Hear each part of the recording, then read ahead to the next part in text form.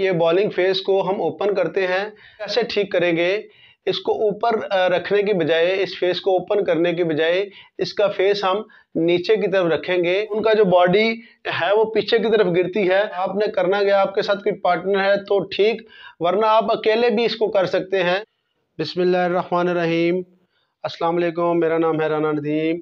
आपको अपने चैनल पर वेलकम करता हूँ। उम्मीद करता हूँ आप खैरियत से होंगे। इलीगल बॉलिंग एक्शन क्या है? इसको कैसे ठीक किया जाता है? आज की वीडियो इसी पर है। वीडियो स्टार्ट करने से पहले, अगर आपने हमारा चैनल सब्सक्राइब नहीं किया तो प्लीज़ हमारा चैनल सब्सक्राइब कर दें, वीडियो को लाइक कर दें और बेल आइकन को प्रेस करना ना भूलिएगा, ताकि आने वाली वीडियोस के नोटिफिकेशन आपको टाइम से मिल सके।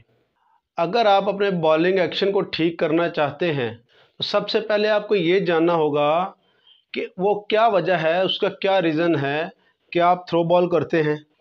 या ये कह लें कि जिसको लेके आपके एक्शन को इनलीगल करार दिया जाता है, वो क्या वजह है? तो सबसे पहले हम इस चीज़ को समझेंगे कि हमारे बॉलिंग एक्शन को या हमारी बॉल को इलीगल क्यों कहा जाता है, सबसे पहले हम ये समझेंगे। आपने अक्सर देखा होगा कि जो बॉलर आपके गली मोहल्ले में खेलते हैं या आपके आसपास खेलते हैं उन्होंने कभी क्रिकेट नहीं खेली होती। उनके जो आम की रोटेशन है, वो जब आम रोटेट करते हैं, जो बॉल डिलीवर करते हैं तो उनको अक्सर थ्रो बॉलर ही कहा जाता है। उनको बॉल करने का तरीका नहीं पता होता, बॉल को रिलीज़ करने का तरीका नहीं पता होता। बॉल आम को रोटेट करने का उनको तरीका नहीं पता होता। इस वजह से वो जैसे चाहते हैं, वो बॉल को रिलीज़ कर देते हैं। आपने अक्सर ये देखा होगा। इसमें जो सबसे मेन रीज़न है, वो ये है कि अपने आर्म्स को सही तरह रोटेट ना करना, अपने एक्शन को सही तरह कंप्लीट ना करना, यही रीज़न बनता है कि हमारे बॉल को लोग थ्रो बॉल कहते हैं इलीगल बॉलिंग एक्शन कहते हैं। दूसरी जो इसकी वजह है, वो है आपके बॉडी का सही तरह कोऑर्डिनेट ना होना, आपके आर्म की मूवमेंट सही ना होना आपके आम के आपस में कम्बिनेशन ना होना, आपके आम के सही तरह मूवमेंट ना होना। अक्सर आपने देखा होगा, जो बिगनर होते हैं, जो नई नई क्रिकेट स्टार्ट करते हैं, उनका जो बॉलिंग एक्शन होता है, वो सही नहीं होता।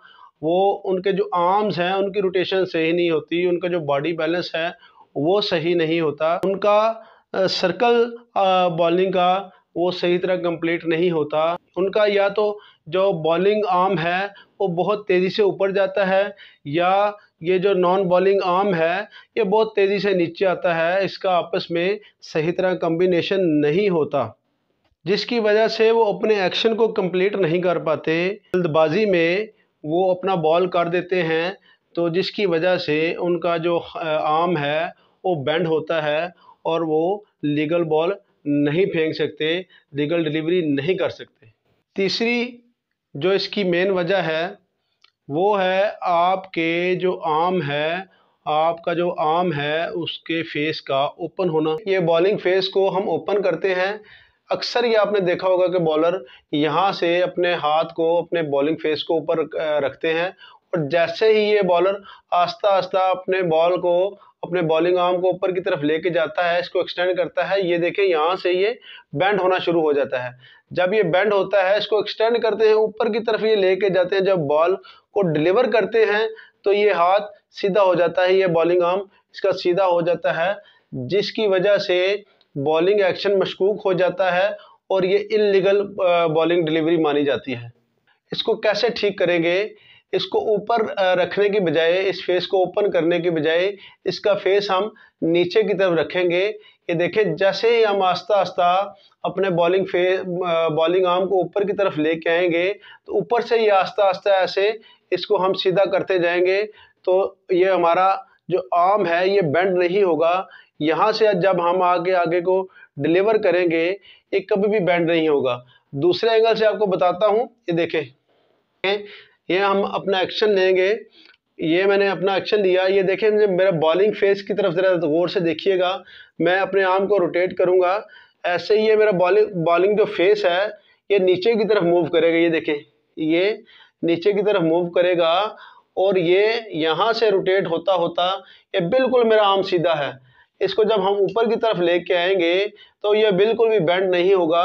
अब इसको हम आस्ता आस्ता आगे की तरफ़ जब लेके आएँगे तो ये मेरा जो आर्म है, ये बॉलिंग फेस है, इसका जो रुख है, ये बैट्समैन की तरफ़ जाएगा और ये आस्ता आस्ता देखें, ये बिल्कुल बैट्समैन की तरफ़ हो गया। इसमें मेरा ये आर्म बिल्कुल भी बेंड नहीं हुआ तो ये जो मेरी बॉल है, ये लीगल डिलीवरी कहलाएगी। आपने इसी तरह अपने आर्म को रोटेट करने की कोशिश करनी है। जब तक हमारी बॉडी की लाइनमेंट ठीक नहीं होगी तो हमारे आर्म्स की रोटेशन भी ठीक नहीं होगी। देखें, सबसे पहले हमने अपनी बॉडी की लाइनमेंट को ठीक करना। जितना हम अपने आप को एक लाइन में लेके जाएँगे, ये देखें, जैसे हम इस लाइन में लेके जाएँगे अपने आप को, इतना ही हमारा जो आर्म है बॉलिंग आर्म है, और नॉन बॉलिंग आर्म है, इतना ही अच्छा आपस में कम्बिनेशन होगा, इतनी अच्छी रोटेशन होगी, और इतनी ही अच्छी हम बॉल कर सकेंगे।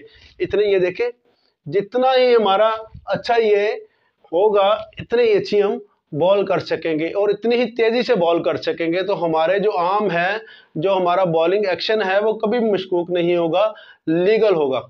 अक्सर जो बॉलर हैं, आपने देखा होगा कि उनका जो बॉडी है, वो पीछे की तरफ़ गिरती है, ऐसे टेढ़ी गिरती है पीछे की तरफ़, और फिर वो लॉक करके अपने आप को आते हैं। तो जब आते हैं तो ये जो आम है बॉलिंग आम ये हमेशा उनका इस तरह टेढ़ा ही होता है तो यहाँ से आके वो जो बॉल करते हैं, ये देखें तो ये उनका जो आर्म है, वो 15 डिग्री से ज़्यादा एक्सटेंड हुआ होता है तो जिससे वो बॉलिंग एक्शन उनका मशकूक हो जाता है, वो इलीगल बॉलिंग एक्शन कहलाता है। आपने हमेशा ही अपने आप को, मैंने आपको ये बताया कि अपनी बॉडी को जितना हम सीधा रखेंगे, उतनी ही हमारी बॉल भी अच्छी होगी। इसके साथ साथ मैं आपको ये एक्सरसाइज भी स्क्रीन पे चल रही है। इसके बारे में बताऊँगा आपने करना कैसे है। जो फ़र्स्ट हम एक्सरसाइज कर रहे हैं, आपने करना क्या? आपके साथ कोई पार्टनर है तो ठीक, वरना आप अकेले भी इसको कर सकते हैं। सबसे पहले हम इसको, जो ये थेरा बैंड है, इसको हमने थोड़ा सा नीचे की तरफ़ लगाना है। किसी जगह पे भी लगा दें जहाँ पे ये वेट बर्दाश्त कर सके। आपने करना क्या है? आपने इसी तरह इसको अपने हाथ में थेरा बैंड को बाँध लेना है। आपने बॉल पकड़ लेना है। जैसे आप बॉल करते हैं, ऐसे आप ग्रिप करके बॉल को पकड़ेंगे और इसको नीचे से लाएँगे। इसी तरह ऊपर की तरफ़ और यहाँ आके आपने, यहाँ आके आपने रोक देना है। आपने ये वाली ड्रिल है, ये कम अज़ कम आपने मिनिमम भी हो ना तो आपने हंड्रेड बार ये रिपीट लाजमी करनी है। नेक्स्ट आपको दिखा रहे हैं, जिस तरह ये कर रहे हैं, आपने अब थेरा बैंड नीचे से ऊपर की तरह बांधना है, थोड़ा सा, और अपने आप को उसी तरह आपने थेरा बैंड को हाथ में बाँध के, आपने इसी तरह आप अपने पूरा, अपना एक्शन कंप्लीट करना है, पूरा सर्कल कंप्लीट करना है, जैसे ये लड़का कर रहा है आपने, इसी तरह आगे की तरफ़ लेके आना है इसको, फिर आगे की तरफ़ हम लेके आएँगे, फिर आगे की तरफ़ लेके आएँगे, इसी तरह आपने इस ड्रिल्स को भी हंड्रेड दफ़ा रिपीट करना है। नेक्स्ट जो है ड्रिल वो एक हैवी बॉल आपने लेना है और इसी तरह आपने जिस तरह ये मैं कर रहा हूँ, आपने ये पीछे जाके पूरा एक्शन लेके, ये पीछे जाके आपने यहाँ से बॉल को छोड़ देना है। आपने यहाँ से जाके बॉल को छोड़ देना है। तीसरी ड्रिल आपने ये करनी है, ये भी आपने हंड्रेड दफ़ा रिपीट करनी है और जैसे ही हम ये ड्रिल को रिपीट करते जाएँगे करते जाएँगे, कुछ दिनों में हम अपने आप में ये इम्प्रूवमेंट देखेंगे कि हमारा जो बॉलिंग आर्म है वो लीगल होता जा रहा है, वो ठीक होता जा रहा है। उम्मीद करता हूँ आपको ये मेरी वीडियो पसंद आई होगी। हमेशा खुश रहें, खुश रखें दुआ में याद रखें। मेहनत हमने करनी है, सिला हमारे अल्लाह ने देना है और अपने प्यारे हबीब के सदके देना है। थैंक यू अस्सलाम वालेकुम